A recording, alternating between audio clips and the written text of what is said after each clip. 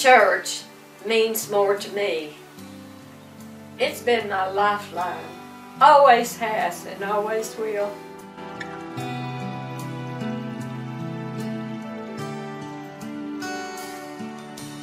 You are forever in my life. God planted this church.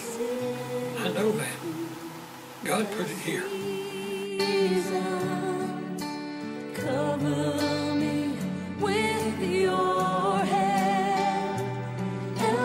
All that was done, and we had a good time because people were pitching in and doing things. Mm-hmm. And, you know, and that makes you feel good.